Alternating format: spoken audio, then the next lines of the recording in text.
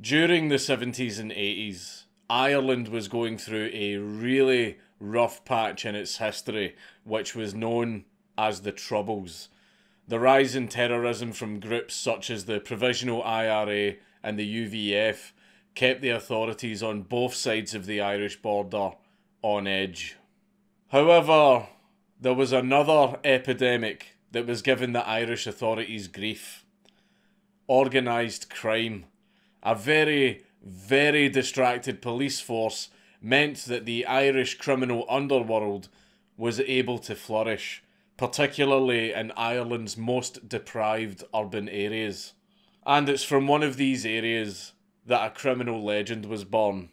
A man who tried his hardest to never ever let the public see his face. A man both loved and feared by his own gang. A man so precise in pulling off his crimes that he earned an iconic nickname.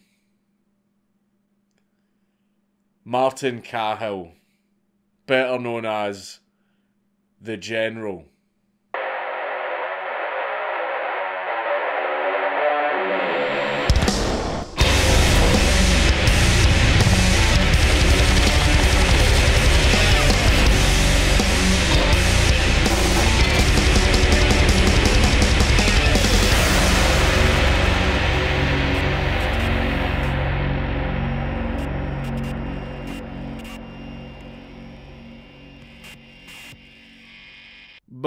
Before we get into the mad lad, a big thank you to Private Internet Access for sponsoring this video.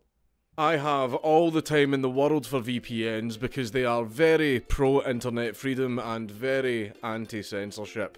In my line of work, people send me articles all the time, and I'm always worried that one of these might be an IP grabber. So before I click the link, I always flick my VPN on to keep myself safe.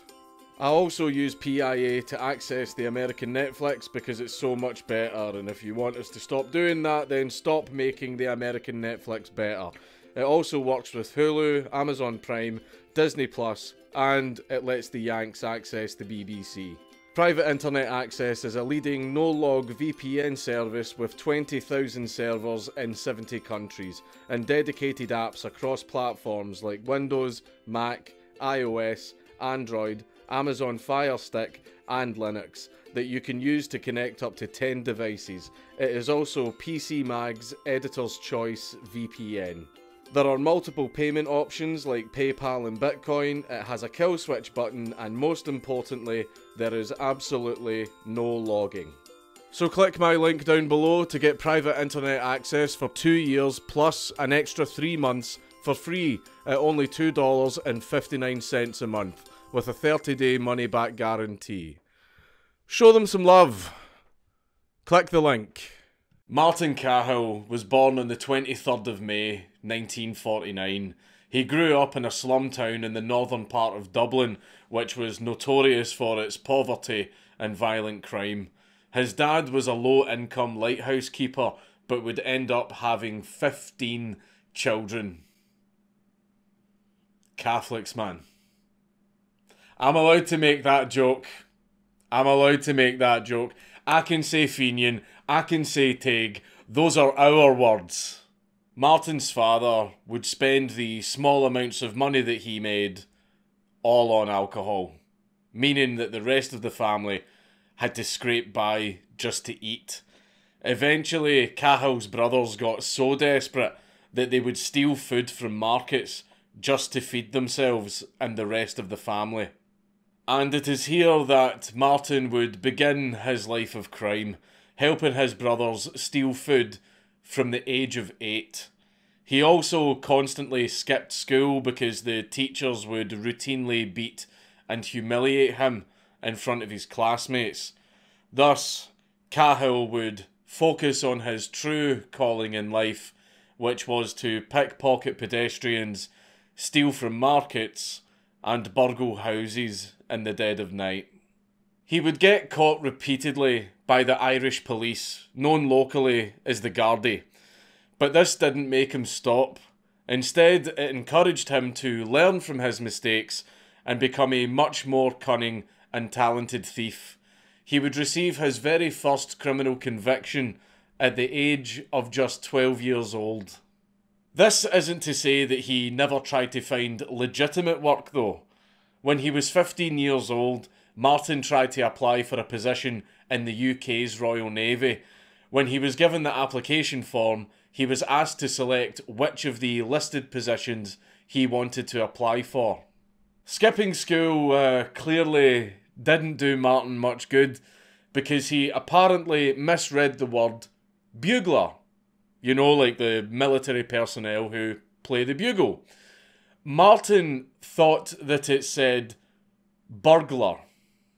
So just imagine, if you will, being a highly respected British naval officer. I mean, you've probably served in the war and you are looking for the next generation of skilled sailors. Then imagine listening to some Irish teenager bragging for 10 minutes about how good and proficient he is at breaking into houses and stealing stuff. Needless to say, the Royal Navy rejected him and Martin returned to his life of crime. The next year, Martin gets thrown in jail for a string of burglaries. A Gardaí officer convinced Cahill to admit to his crimes, possibly to reduce the severity of his punishment. The court then ordered that he be sent to a Catholic reform school for two years from 1965 to 1967, and his treatment there was apparently so bad that he would forever hold a burning resentment for the Gardaí and he would never ever again admit to any crime. Despite this, Martin's time at reform school would actually prove useful as he was able to make valuable connections with future partners in crime. Their shared hatred for the authorities allowed them to build up a fierce loyalty with one another, which would be essential for Cahill in his future plans. Upon his release at the age of 18, Martin would eventually meet and marry a girl called Frances Lawless. Lawless. You couldn't get a more fitting name for Cahill's wife if you tried. But even in his relationships, Cahill would go out of his way to buck the social norm. As well as being attracted to Frances, he also quite liked her sister, Tina. So instead of having to choose between them, he decided to just keep going out with both of them. He would go on to have nine children between the two lawless sisters, though he would eventually get two separate houses for both sets of families. The three of them were known to very often share the same bed. Martin and his brothers quickly began ramping up their criminal activities by looting warehouses. One of Martin's old contacts from reform school, who now had a job driving delivery vans, would scope out particularly vulnerable locations for the gang to hit. This system went rather well up until Cahill was eventually caught and given his first major prison sentence. He would be in jail from the 19th of March 1970 to the 25th of January 1973. And very much like Reform School, Martin would always use his time in jail to establish new contacts and recruit potential gang members. So for Martin, prison was less of a punishment and more like a state imposed LinkedIn session. After his time in jail, Martin discovered that his brothers were now working with another crime family called the Dunnes, taking part in armed robberies and taking even bigger scores. Martin jumped on the opportunity to be shown the ropes and he got into his first major heist on the 18th of November 1974.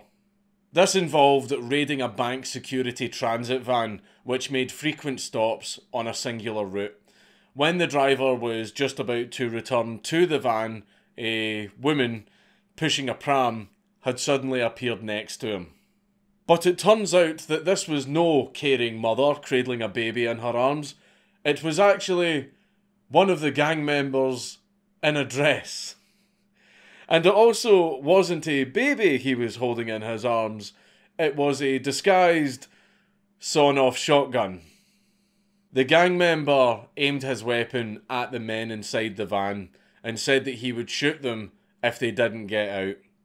After they got out, the gang then quickly looted the van, getting away with up to a million euros in today's money.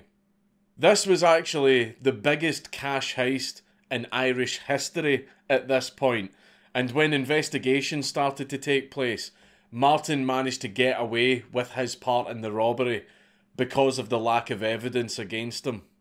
However, despite all of the successes the Cahills and Dunnes had achieved together, tensions started building between the two crime families.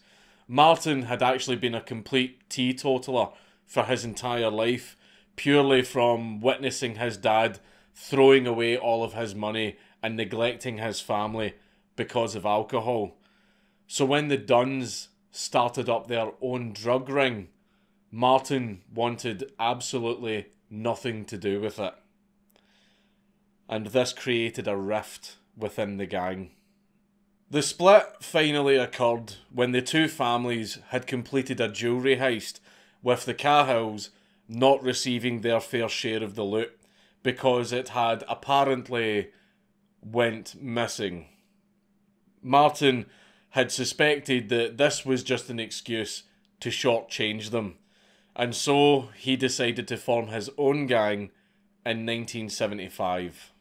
From here, Martin would plan and coordinate intricate heists and robberies with almost military precision. In fact, he would drill the gang so thoroughly before a heist that his henchmen started calling him by his iconic nickname, the General. The General would always make sure that he had at least one major take a week this would involve either hitting small town banks, stealing factory pay slips, or raiding bank security vans. Martin was known for being completely restless in his passion for stealing.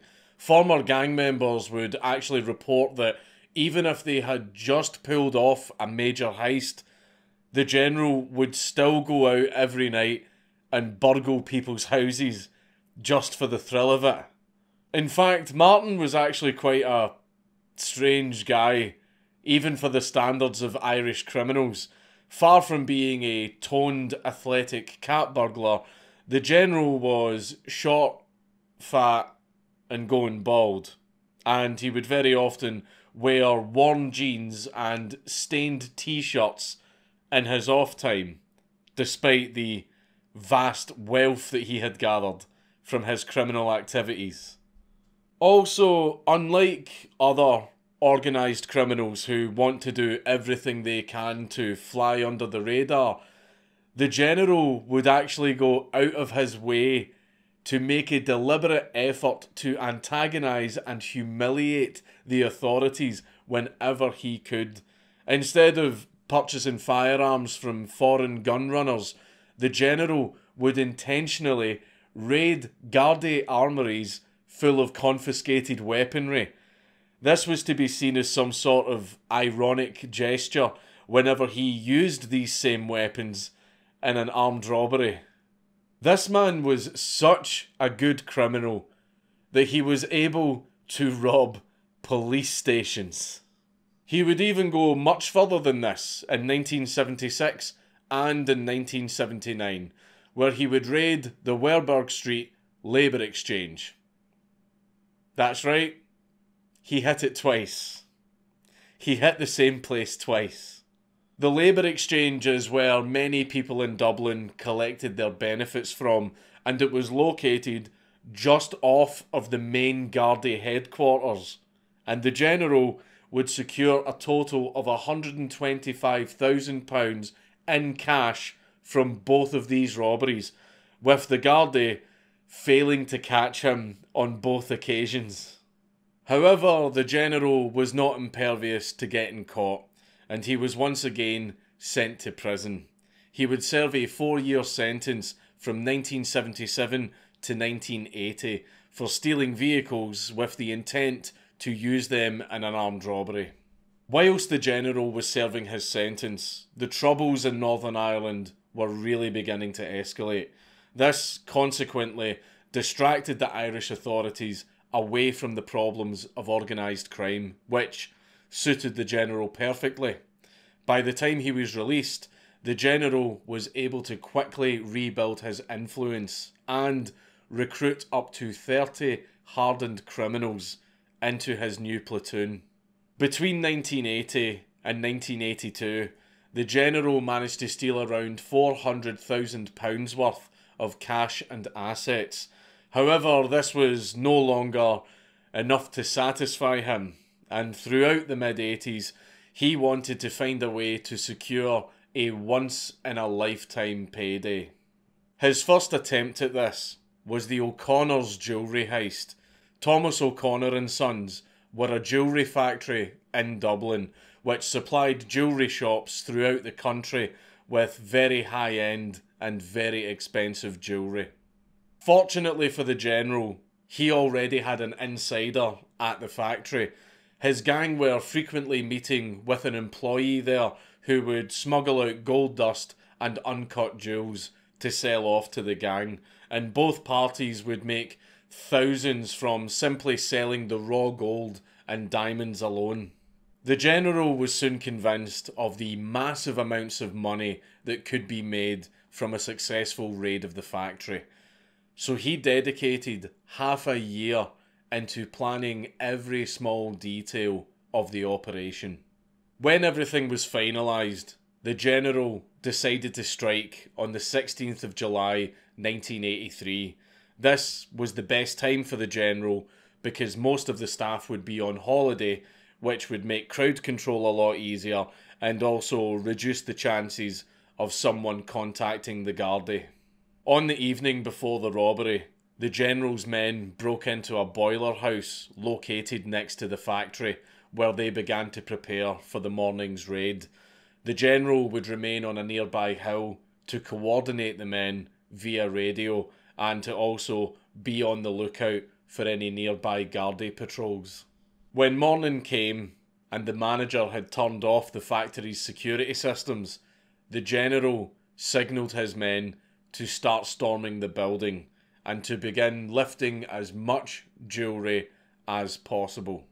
It took around 35 minutes for the men to completely fill up their modified getaway cars with jewellery, and for the whole heist, the Gardaí were never alerted once, and the men were able to make a completely clean getaway. And they had managed to steal ten and a half million euros worth of jewellery. This heist would prove to be another record breaking moment for the General, as it was recorded as being the largest jewellery heist ever in Irish history at the time. The financial hit to the O'Connor's factory was actually so bad that they were forced to close later in the year, which cost over a hundred workers their jobs. Unfortunately, instead of swimming in Scrooge McDuck sized pools of cash, the general could only sell the jewellery for a fraction of what it was worth, on account of the jewellery being, what's the criminal term, too hot. He would end up only making around £200,000 from the entire haul. Ironically, he would have probably made more money from just selling the uncut gems and gold dust that he was getting, which he now couldn't get anymore because the factory was forced to close.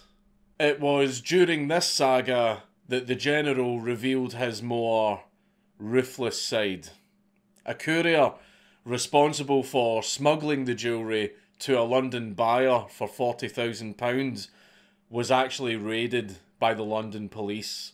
However, because the courier wasn't heard from in two weeks, Martin thought that he had just ran off with the money. So when the courier returned to Dublin, the general tortured him by crucifying him to the floor. After several hours of driving nails through the courier's hands, the general was finally convinced that he didn't steal the money and delivered him to a nearby hospital. Well, that was nice of him. The general, however, was still desperate to score the big take. So, eventually, he got the idea to raid a prominent private art collection located at a place called Russborough House. Russborough House was bought and renovated by a former Conservative MP called Sir Alfred Beat. He primarily used the house to store his many rare paintings that he had collected over the years, and by the 80s, Sir Beat had actually opened up the house as a public gallery for everyone to appreciate his art collection. The general cased the gallery for two months, studying the alarm system, the routes of entry, and deciding which of the paintings he wanted to steal. And by the 21st of May 1986, he was finally ready to undertake the second biggest art heist in the world. In the dead of night, the general and his men approached the gallery and began to remove one of the window panes. The general then deliberately set off the infrared sensors and quickly disabled them before jumping back out and replacing the window pane. This was a deliberate tactic to trick the housekeeper into thinking that it was just a false alarm, and it also allowed the general to actually get inside and switch the alarm off so it wouldn't go off again when he re entered. So, after the Gardaí had finished a light patrol around the area, the general and his men simply removed the pane again and went back inside and started removing 11 paintings from the gallery. And that was that. The general managed to steal 20 million pounds worth of paintings without so much as breaking a sweat. He stored the paintings in a secret location in the Dublin mountains and he waited for the cash to start flowing in. Unfortunately, very much like the O'Connors heist, though he stole what would have been millions of pounds worth of paintings, their value on the black market would be next to worthless. That is, if he was ever lucky enough to actually sell any of the paintings, because just like with the O'Connors heist, the merchandise was far too hot. International police were put on such high alert after the art house theft that it became basically impossible for the general to actually even sell the paintings without getting caught.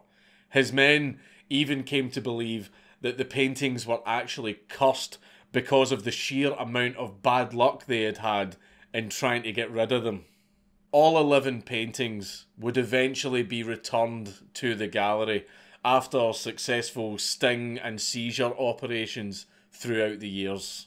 However, these high profile raids meant that the general began attracting unwanted attention from the Gardaí. This began in 1981, where Martin was once again charged with an armed robbery. The typical way that the general would deal with this problem would be to send his men to raid the court building in the middle of the night and steal the case files and all of the evidence which incriminated him. The most daring job said to be done by this gang took place last August at the offices of the Director of Public Prosecutions. It was an astonishing breach of security. The gang stole more than 100 files. They included 16 major armed robberies, assault and drug cases, the O'Connor jewellery file, the MacArthur and Patrick Cahill murders, the Jennifer Guinness kidnap. However, he soon discovered that this tactic was not going to work because of one man Dr. James Donovan. Donovan was one of Ireland's top forensic scientists, and his work as an expert witness had actually already sent a lot of the general's men to jail. The development of forensic science had posed a serious threat to the general's future plans. And thus, the general decided that Donovan had to die. The general hired a member of the Irish National Liberation Army to construct a car bomb for him. The INLA, for those who don't know, were basically the socialist branch of the IRA. Well, at least they were back then. Nowadays, all of the IRA is socialist. The general's aim was for Donovan's death to interrupt the forensic investigation into his robberies and also to ultimately pin the assassination onto the IRA, who were infamous for this type of murder at the time. The first assassination attempt commenced on the 24th of November 1981. Thankfully, the bomb had failed to properly detonate and only resulted in minor damage being done to Donovan's car. The second attempt actually worked as far as the bomb actually being detonated this time, but it still failed to kill Donovan. Unfortunately, it did permanently disfigure him and left him in a lot of pain for the rest of his life. Despite these two assassination attempts, Donovan would bravely continue to appear in the General's court cases, where he was now being charged with attempted murder on top of the original armed robbery cases. Ironically, Martin was acquitted on both charges because of a lack of forensic evidence and also some legal technicalities employed by his lawyers. This meant that killing Donovan would have been absolutely pointless and did nothing but attract more public and Gardaí attention to the infamous general. By 1987, the Gardaí had finally had enough of the general's antics, so they commissioned their serious crime squad to deal with him. They decided that the best approach was to place the general and his top accomplices on 24 hour surveillance, manned by a dedicated team of Gardaí officers. They would be known colloquially as the Tango Squad, as they had issued each target with the codename Tango. The general was referred to as Tango 1. On New Year's Day of 1988, the general and his men had awoken to swarms of Gardaí officers surrounding their homes and found themselves being constantly followed by unmarked police cars. The officers would deliberately sit right next to them in pubs and conduct constant stop and frisk searches on them.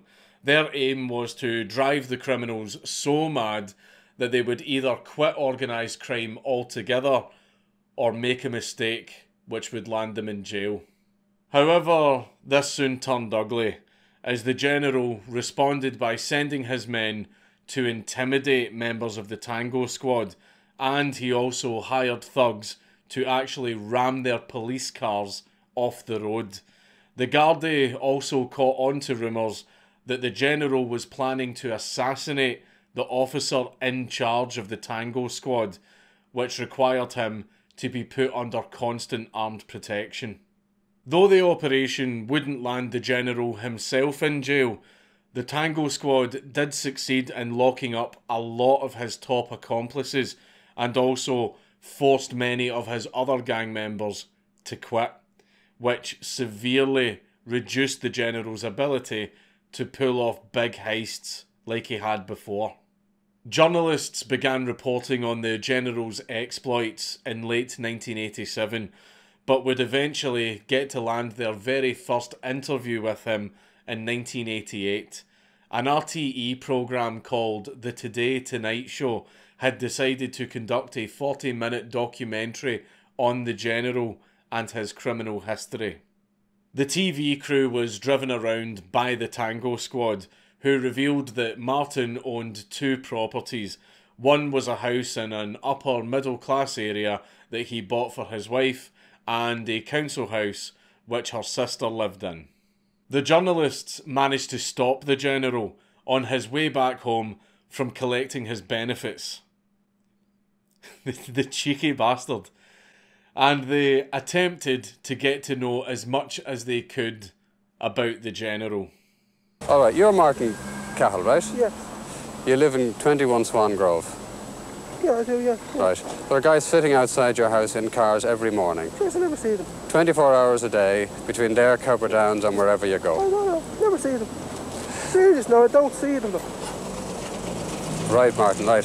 right, right. Why does everybody, i.e., the guards and criminal people, say Martin Cahill is the general? Never, no one ever said it to me.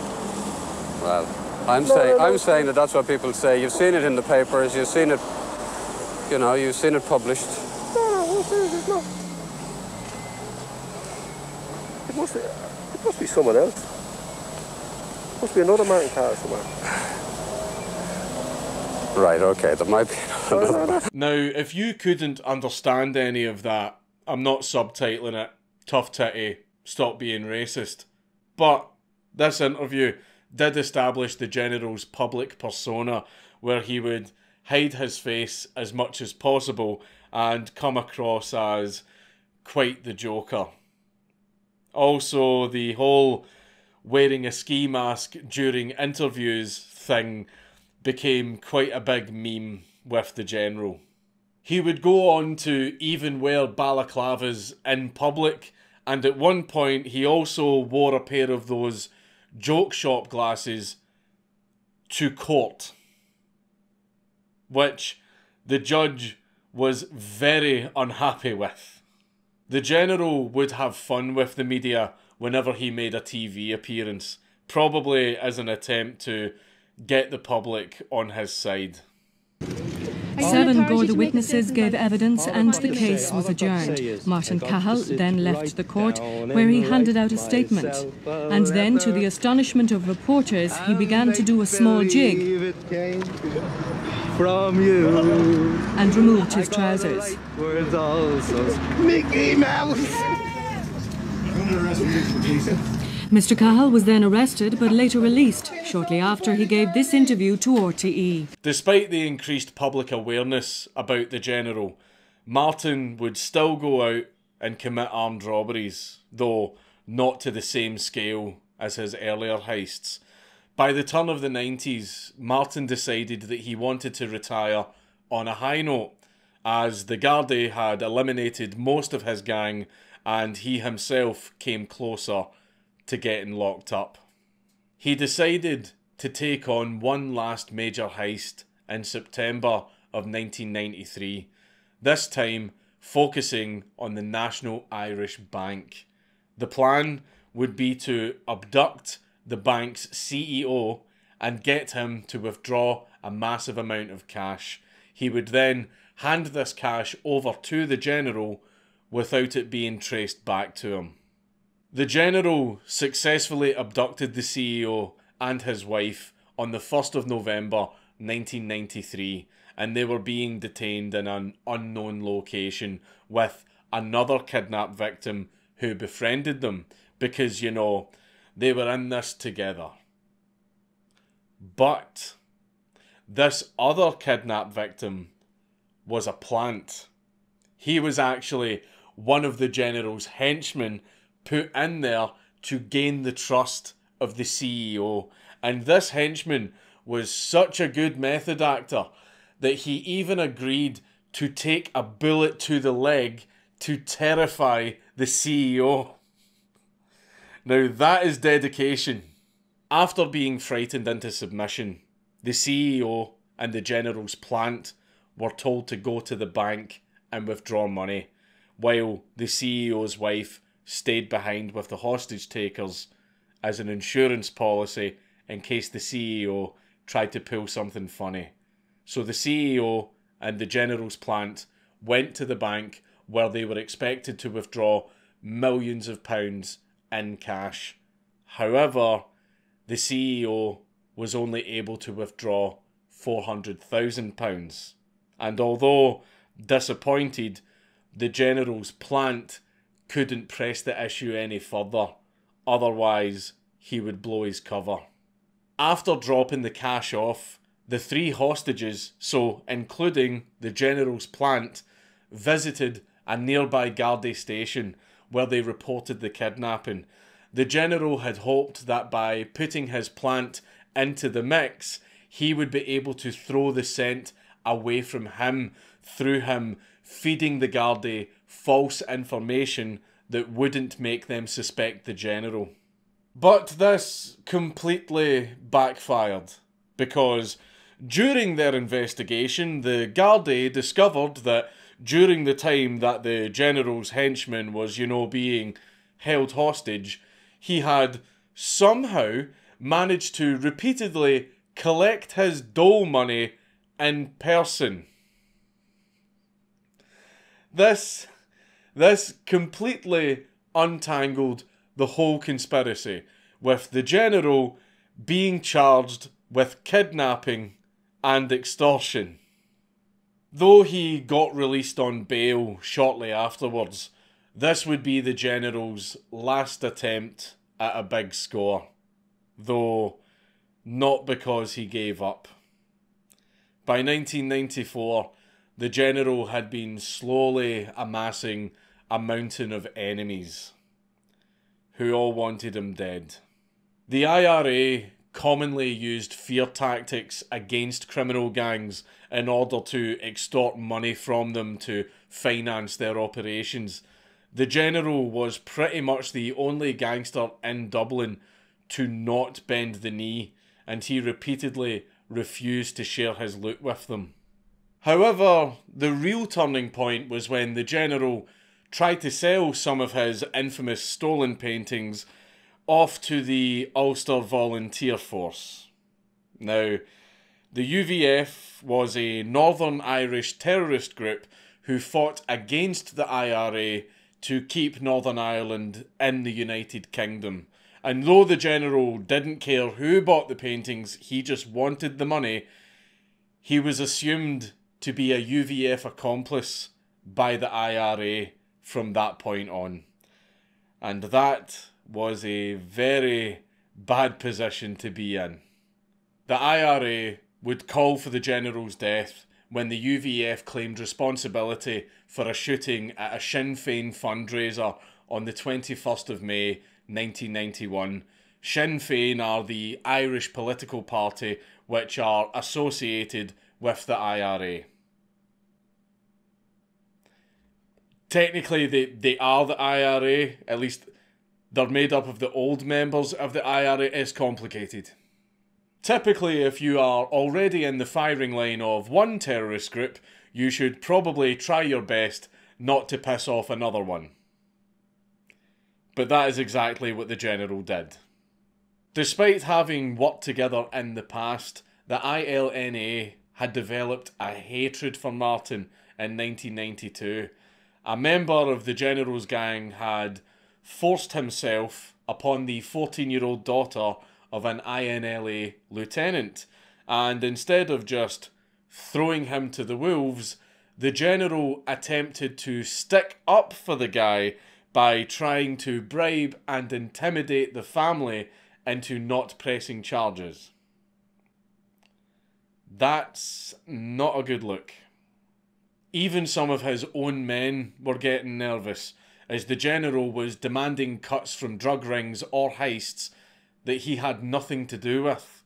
Other criminal gangs, purely out of a commercial, taking out the competition interest, also wanted to be rid of the general, leaving Martin dangerously isolated and without any friends to watch over him. It's believed that the general was becoming gradually more unhinged as a result of his worsening and untreated diabetes, which would explain the more rash decisions that he would make later on in his life.